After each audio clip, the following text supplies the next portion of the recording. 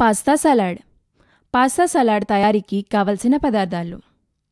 Pasta ఒక cup ఉప్పు ఒక చెంచా నూనె ఒక టేబుల్ స్పూన్ మైదా ఒక టేబుల్ స్పూన్ పుదీనా తరుగు ఒక చెంచా మిరియాల పొడి అర చెంచా ఎండుమిర్చి రెండు తాజా పాల క్రీమ్ ఒక చెంచా పాలు ఒక కప్పు చీజ్ పావు కప్పు పాలకూర తరుగు రెండు కప్పులు.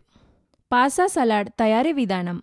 ముందుగా ఒక గిన్నెలో సగం వరకు నీళ్ళు తీసుకొని అందులో కొంచెం నూనె ఉప్పు వేసి పొయ్యి మీద పెట్టాలి. అవి మరుగుతున్నప్పుడు పాస్తా వేయాలి. పాస్తా బాగా ఉడికిన తర్వాత కిందకి దింపేసి నీటిని పారబోయాలి.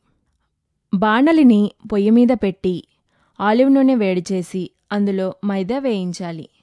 ఒక నిమిషం తర్వాత పుదీనా తరుగు మిరియాల పొడి ఎండుమిర్చి వేసి కలపాలి. తర్వాత కొద్దిగా పాలు పోస్తూ కలుపుకోవాలి. ఉండలు కట్టకుండా చూసుకోవాలి. ఇది ఉడికాక పాలు పోసి మరోసారి కలపాలి. ఒక నిమిషం తర్వాత కొత్తిమీర తరుగు వేసి మంట తగ్గించాలి. ఈ మిశ్రమాన్ని మధ్య మధ్యలో కలుపుతూ ఉండాలి. అలా పదిహేను నుంచి ఇరవై నిమిషాలు పొయ్యి మీద ఉంచి దింపేయాలి. ఈ మిశ్రమాన్ని పాస్తాపై వేసి కలిపితే చాలు. పాస్తా సలాడ్ సిద్ధం.